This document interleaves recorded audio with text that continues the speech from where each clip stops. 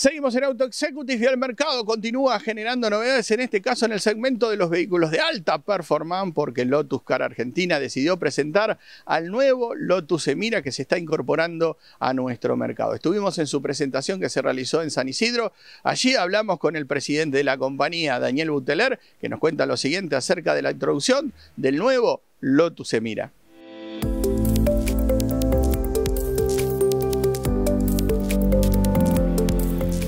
Estamos acá en San Isidro, que es nuestro showroom de Lotus Cars Argentina,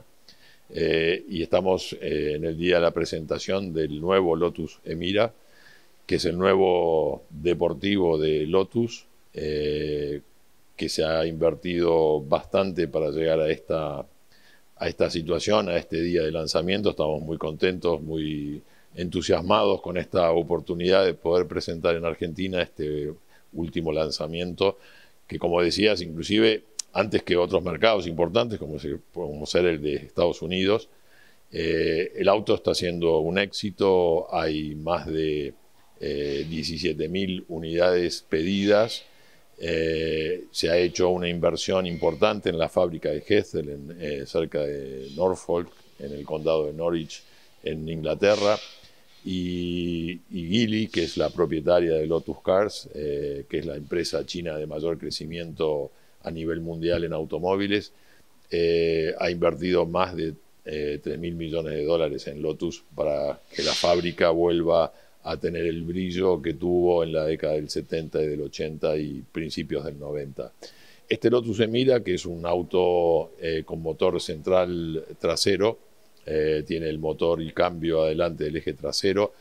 Es un, en realidad es un automóvil deportivo, no es súper deportivo por el posicionamiento que tiene de precios, pero por las prestaciones, performance y demás, realmente es un auto que le puede hacer frente a los superdeportivos. El diseño del Lotus Emira tomó muchos de los eh, de las características y detalles de Levija, que fue el primer Lotus 100% eléctrico que se presentó en el año 2019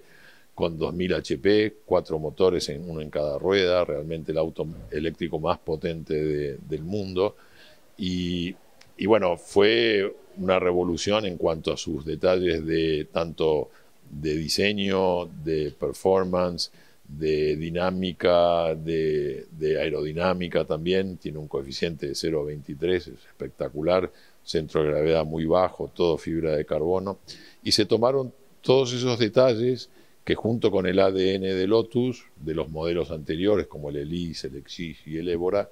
eh, hicieron que con el desarrollo y con esa inversión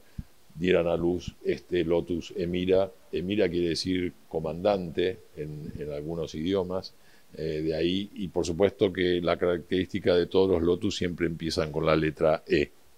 Por eso el Evija, que es el tipo 130, este es el 131, tipo 131,